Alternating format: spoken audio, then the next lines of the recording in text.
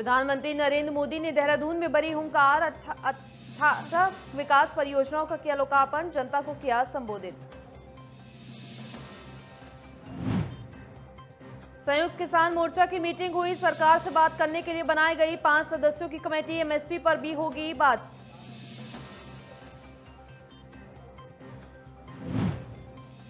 Gorakhpur earth station का शुभारंभ CM योगी और अनुराग सिंह ठाकुर ने किया शुभारंभ, कहा कलाकारों को मिलेगा सुनहरा अवसर।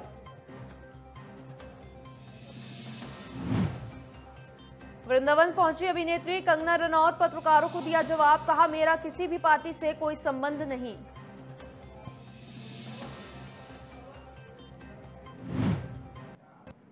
नमस्कार, स्वागत है आपका न्यूज़ वर्ल्ड इंडिया में। आपके साथ मैं हूँ पारुल त्यागी। प्रधानमंत्री नरेंद्र मोदी ने देहरादून में अठारह हज़ार करोड़ की परियोजनाओं का शिलान्यास और लोकार्पण किया। आपको बता दें, इस परियोजनाओं में दिल्ली, देहरादून, आर्थिक गलियारा भी शामिल है। इस दौरान उन्होंने विजय संकल्प महारैली को संबोधित करते हुए क्या कुछ कहा, आपको सुनाते हैं। इतनी बड़ी संख्या में हमें आशीर्वाद देने आए हैं। आपके स्नेह आपका आशीर्वाद, ये आशीर्वाद का प्रसाद पाकर हम सभी अभिभूत है। उत्तराखंड पूरी देश की आस्था ही नहीं, बल्कि कर्म और कठोरता की भूमि है। इसलिए इस क्षेत्र का विकास यहाँ को भव्य स्वरूप देना, डबल इंजन की सरकार की सर्वोच्च प्राथमिकता है। इसी भावना से सिर्फ़ बीते पाँच वर्षों में उत्तराखंड के विकास के लिए केंद्र सरकार ने एक लाख करोड़ रुपए से अधिक, एक लाख करोड़ रुपए से अधिक, एक लाख करोड़ रुपए से अधिक परियोजनाएँ स्वीकृत की हैं। इन सभी प्रोजेक्ट्स के लिए उत्तराखंड के लोगों का बहुत बहुत अभिनंदन करता हूँ बहुत बहुत बधाई देता हूँ। जो लोग पूछते हैं कि डबल इंजन की सरकार का फ़ायदा क्या है वो आज देख सकते हैं कि डबल इंजन की सरकार कैसे उत्तराखंड में विकास की गंगा बहा रही है। भाइयों और बहनों, इस शताब्दी की शुरुआत में अटल बिहारी वाजपेयी जी ने भारत में कनेक्टिविटी बढ़ाने का अभियान शुरू किया था।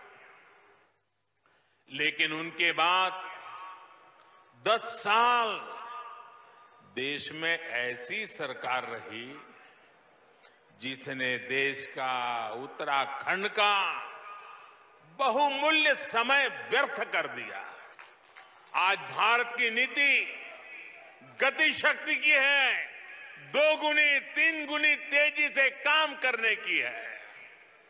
सालों साल अटकी रहने वाली परियोजनाओं बिना तैयारी के फीता काट देने वाले तौर तरीकों को पीछे छोड़कर आज भारत नवनिर्माण में जुटा है।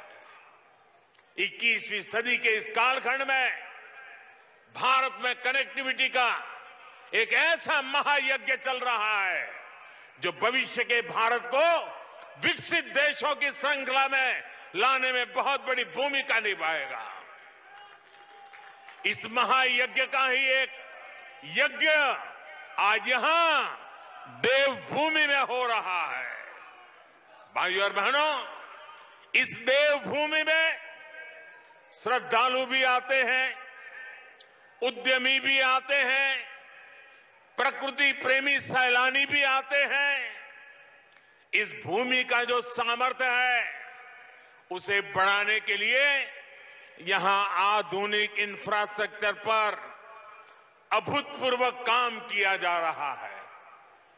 चार धाम ऑल वेदर रोड परियोजना के तहत आज देव प्रयाग से श्रीकोट और ब्रह्मपुर से कोडियाला, वहाँ के प्रोजेक्ट का लोकार्पण किया गया है। प्रधानमंत्री नरेंद्र मोदी के उत्तराखंड दौरे से बीजेपी पूरी तरह से मिशन 2022 में जुट गई है।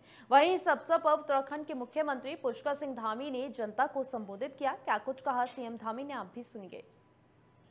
आदरणीय प्रधानमंत्री जी, आपके महान विचारों पर चलकर ही आज उत्तराखंड विकास की राह पर अग्रसर है। हमें पूर्ण विश्वास है कि आपके मार्गदर्शन में शीघ्र ही हम भारत के सर्वश्रेष्ठ राज्य बनेंगे।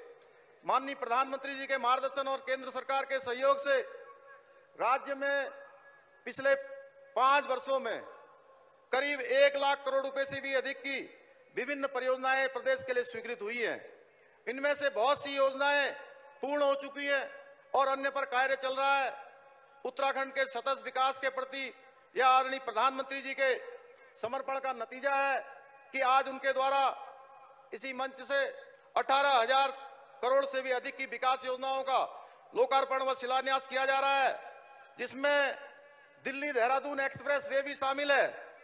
इस एक्सप्रेस वे के बनने से दिल्ली से देहरादून की दूरी मात्र दो घंटे में पूरी की जाएगी। कुछ वर्ष पूर्व ऐसा सोचना भी अकल्पनीय सा लगता था, चाहे आज सड़क मार्ग हो, उत्तराखंड के कोने कोने से जोड़ना हो पहाड़ पर रेल पहुँचाने जैसा कठिन कार्य करना हो, या देवभूमि के शहरों को हेली सेवा से जोड़ना हो, आदरणीय प्रधानमंत्री जी के नेतृत्व में हमने कनेक्टिविटी को विकास का मूल मानकर कार्य किया है। इसी का नतीजा है, आज उत्तराखंड पर्यटन के मानचित्र पर और अधिक मजबूती के साथ अपनी सदानत छवि को उकेर रहा है। भाइयों और बहनों, आदरणीय प्रधानमंत्री जी ने 2015 में प्रभावी प्रशासन के लिए प्रगति अर्थात proactive governance and timely implementation का जो मंत्र दिया था, हमारी सरकार आपके द्वारा दिए गए इस मंत्र पर काम करने के लिए पूरी तरह से प्रतिबद्ध है। चाहे वो हाल ही में हमारे राज्य में आई इतनी बड़ी आपदा हो या वर्षों से लंबित अन्य मामले हो, फिर भविष्य को लेकर हमारी योजनाएँ हो, हमारी सरकार आपके दिखाए गए मार्ग का अनुसरण कर प्रोएक्टिव मोड में काम करने के लिए प्रतिबद्ध है। प्रधानमंत्री नरेंद्र मोदी देहरादून के दौरे पर रहे और इस दौरान इन जनसभा में भारी संख्या में लोग भी जुटे। वहीं पीएम की तरफ़ से दी गई सौगात पर जनता की क्या राय रही, वो भी आपको सुनाते हैं। परेड मैदान में हुई पीएम नरेंद्र मोदी की विशाल रैली के बाद जानने की कोशिश करते हैं कि कार्यकर्ताओं में कितना जोश है, सर? पीएम नरेंद्र मोदी ने आप लोगों को संबोधन किया, जितना विकास कार्य प्रदेश में हुआ, केंद्र में सब गिनाए किस तरीके से देखते हैं आप लोगों कितना उत्साह है अब? एक्चुअली देखिए, ये बात तो सही है, जो मोदी जी है तो मुमकिन है। इतना सच, साहस और किसी नेता का नहीं है। और हमारा उत्तराखंड भी जो है, हमारा उत्तराखंड का आदमी यही है कि हम सच के साथ चलते हैं, सच बात बोलते हैं, और हमारा विकास चाहिए। हम सब जो इतना साल से झुका हुआ था आज हम विकास का पथ का रास्ते में हम चल रहे हैं। मोदी जी आए, मोदी जी बताया, लेकिन मोदी जी को भी हम लोगों को गर्व से बताना हेल्प करना चाहिए कि हम सब मोदी के साथ है। ऐसा नहीं कि मोदी जी अकेला है। तो उत्तराखंड का वासियों ने सब हम लोग मोदी जी के साथ है, चाहे कोई तीन सौ रुपये, तीन सौ कोई दल बोल रहा है कि तीन सौ यूनिट बिजली फ्री देगा। एक गरीब आदमी का एक मकान है, एक मकान में 300 बिजली यूनिट कहाँ से हो पाएगा? हमें बहुत अच्छा लगा कि मोदी जी देहरादून में आए। हमें बहुत खुशी हुई।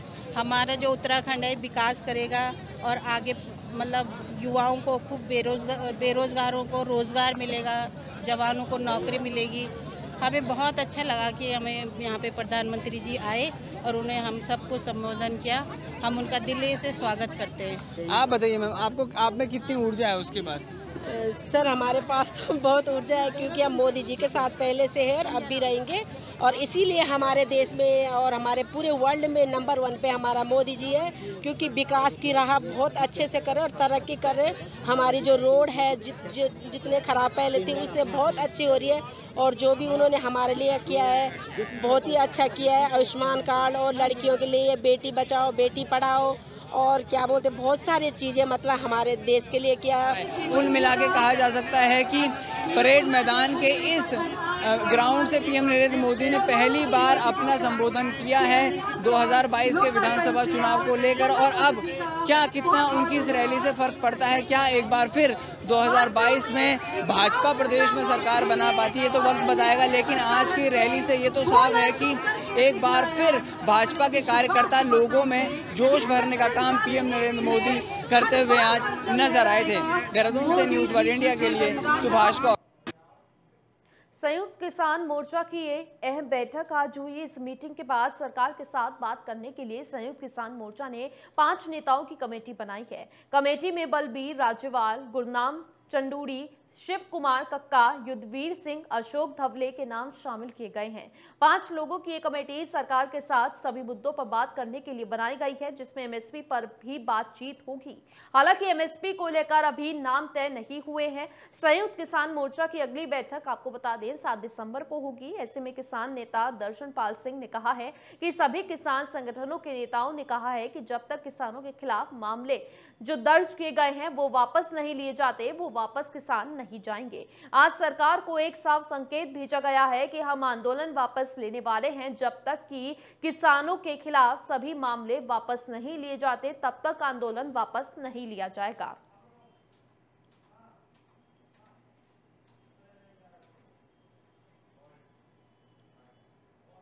बहुत सी बातें हुई और पिछले एक साल से जो ये आंदोलन चल रहा है इस पे आप सब लोगों को जानकारी है कि क्या क्या इशू क्या क्या मुद्दे हैं। और अभी जो लेटेस्ट की नॉलेज है, जो एसकेएम ने तय किया यहाँ पे मीटिंग में, वो जो पाँच लोग तय किए हैं, एक कमेटी निर्धारित की, वो कमेटी भारत सरकार से बातचीत करेगी, वो ओंथेटिक रूप से ऑथराइज कमेटी एसकेएम की है, उसके नाम हम बता देते हैं। ये राज्यपाल जी हैं, जो सीनियर हमारे लीडर हैं, पंजाब से हैं, और शिव कुमार काका जी हैं, ये गुरनाम सिंह चढ़ून जी हैं युवीर सिंह जी हैं, और अशोक धवले जी हैं। ये पाँच लोगों की कमेटी बनाई है। जो भी सरकार से बातचीत करेंगे, किसी भी मसले पे बात होगी तो यही कमेटी ऑथराइज रूप से सरकार से बातचीत करेगी। और अगली जो मीटिंग एसकेएम की यहाँ पे होगी, वो सात तारीख को होगी। यहाँ पे ही होगी, ग्यारह बारह बजे के आसपास का उसका टाइम रखा गया है। बाजपुर में पूर्व कैबिनेट मंत्री यशपाल आर्य और उनके बेटे संजीव आर्य पर हमला हुआ है। दरअसल समर्थकों ने दोनों को बचाकर थाने पहुँचाया। ऐसे में पूर्व जिला पंचायत सदस्य कुलविंदर सिंह किंदा पर हमले का आरोप लगाया गया है। संजीव आर्य ने आरोप लगाया है कि पुलिस की मौजूदगी में बीस लोगों के साथ किंदा ने लाठी डंडों से हमला किया। ऐसे में संजीव आर्य ने कहा कि मेरी और पिता की हत्या करने की साजिश रची गई थी। दोनों दो समर्थकों ने अपने ऊपर बार झेल हमें बचाया, वरना कुछ भी अनहोनी हो सकती थी। मामले की पूरी जाँच की जानी चाहिए। हमले के पीछे जो भी है, उन्हें कड़ी सजा मिलनी चाहिए।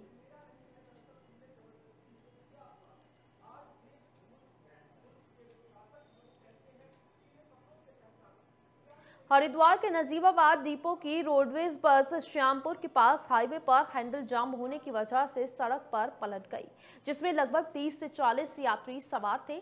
सूचना पर पहुँची फोर्स मौके पर पहुँची और तुरंत सवारियों को बस से बाहर निकाल दिया। वहीं किसी को गंभीर चोट नहीं आई है। आपको बता दें, पुलिस ने बस साइड करवाई और यातायात को फिर से शुरू करवा दिया।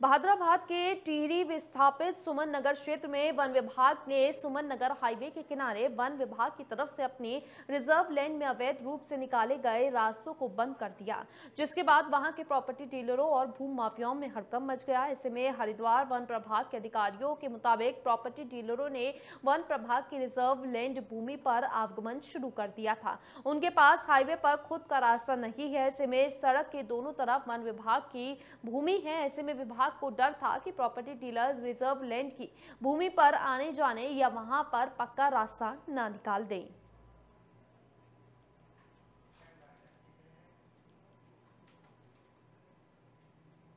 नैनीताल में कुछ छात्र नेताओं ने कुमाऊं विश्वविद्यालय के कुलपति प्रोफेसर एन के जोशी से मांग की है कि छात्र संघ चुनाव जल्द ही कराया जाए। इसको लेकर छात्रों ने कुलपति कार्यालय में जाकर जमकर नारेबाजी की। छात्रों का कहना है कि जब सब जगह चुनाव हो रहे हैं, इतनी बड़ी संख्या में जुलूस निकाले जा रहे हैं तो रैली की जा रही है। उसके लिए कोई मनाही नहीं है। छात्रों ने कुलपति से बात भी की। इस दौरान कुलपति एन के जोशी का कहना है कि वो भी चाहते हैं, कॉलेज में चुनाव हो, उनका कहना है कि ये एक राजनीति का प्लेटफॉर्म है। जहाँ से राजनेता तैयार होते हैं, जोशी ने कहा कि पूरे उत्तराखंड में एक दिन ही चुनाव होते हैं और इसके लिए शासन की तैयारी करनी है। शासन को और उसके आदेश पर ही चुनाव किए जा सकते हैं। अभी ऐसा कोई भी शासन की तरफ़ से निर्देश नहीं मिला है।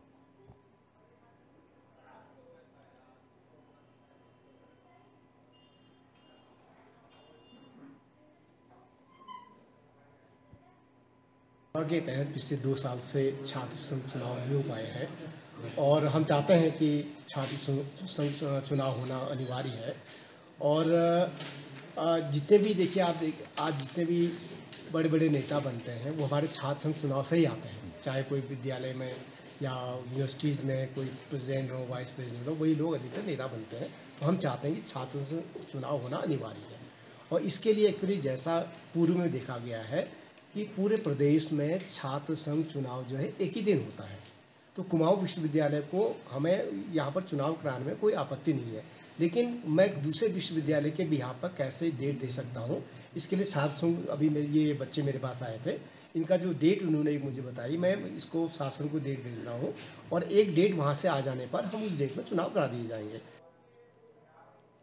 चमोली में विकास खंड नारायण बगड़ के सभागार में आयोजित किसान कल्याण ऋण मेले में आज 38 लाख के शून्य प्रतिशत ब्याज दर के चेक क्षेत्र के काश्तकारों और महिला समूहों को बांटे गए। मुख्य अतिथि सरस्वती कनेरी, उप महाप्रबंधन डीसीबी चमोली दीक्षा कंडवाल शाखा प्रबंधक मनीष कुमार की अध्यक्षता में क्षेत्र के काश्तकारों को अड़तीस लाख रुपए के मध्यकालीन और अल्पकालीन शून्य प्रतिशत ब्याज दर पर ऋण चेक दिए गए। ऐसे में एबीडीओ सहकारिता चंद्रमणि बारमोला ने बताया कि इस सत्र में 116 सदस्यों और दो समूह के लिए एक करोड़ इक्कीस लाख पैंतीस हज़ार रुपए के ऋण बांटे गए हैं। मानना ये है कि जो काश्तकार ऋण ले रहे हैं, वो अगर उसका सदुपयोग करें तो निश्चित निश्चित रूप से समितियाँ जागृत होंगी। काश्तकार का भी विकास होगा और काश्तकार अपने काश्तकार उसका सही उपयोग करते हुए उसका लाभ ज़रूर लेता है और उसका लाभ लेके समितियों का भी ऋण वापस काश्तकार करता है और सरकार की योजनाओं का लाभ तमाम कई लोगों को इसमें मिलता है।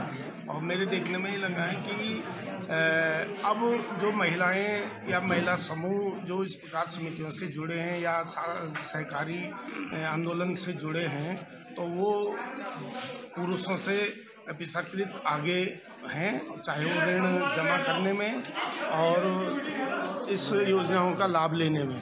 ये वर्ष 2021-22 में अब तक नारायणबाग ब्लॉक से एक करोड़ इक्कीस लाख का ऋण वितरण किया जा चुका है। अब पिछले दो सालों से हम ऋण मेले का आयोजन करते आ रहे हैं। इसमें काफ़ी काश्तकारों को फ़ायदा मिला है, आजीविका इनकी दोगुनी हुई है, काफ़ी लोगों को बेरोजगार भी मिला हुआ है। स्वयं सहायता समूह के माध्यम से भी काफ़ी लोगों की प्रगति अच्छी हुई है। रही बात विपणन की, इसमें हमारे सहकारिता विभाग की तरफ़ से क्लस्टर बनाए जा रहे हैं, जिसमें कि जो गाँव के जो एक जन सामान्य है, उसको परेशानी का सामना ना करना पड़े।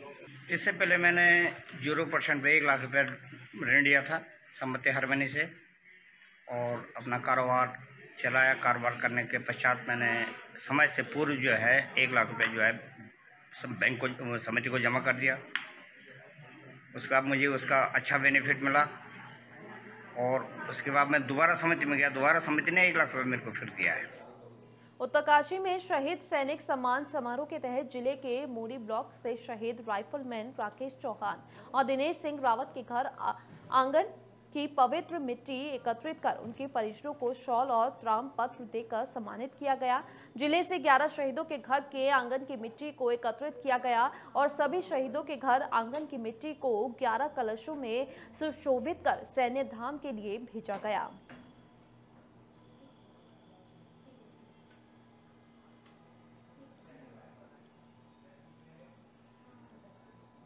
हरिद्वार के आर्य नगर, ज्वालापुर स्थित एक मकान में बुज़ुर्ग दंपत्ति के साथ दिन दहाड़े लाखों की लूटपाट हुई है।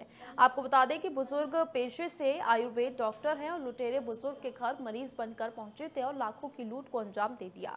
वहीं सूचना मिलते ही SP city, Kamlesh Upadhyay, CO city, Abhay Pratap Singh और ज्वालापुर एसओ सीसी नेथानी मौके पर पहुँची और आसपास के लगे सीसीटीवी कैमरे को खंगाल कर जाँच पड़ताल शुरू कर दी है।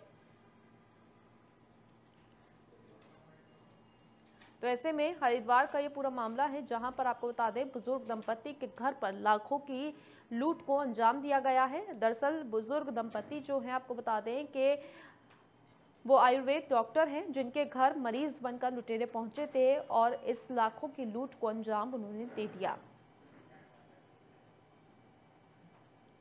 नैनीताल ज़िले के विकास खंड कोटाबाग में कोरोना काल के बाद दो सालों के बाद बैठक आयोजित की गई। वहीं इस बैठक में विभागीय अधिकारियों की अनुपस्थिति के चलते बीडीसी संगठन में काफ़ी आक्रोश देखने को मिला।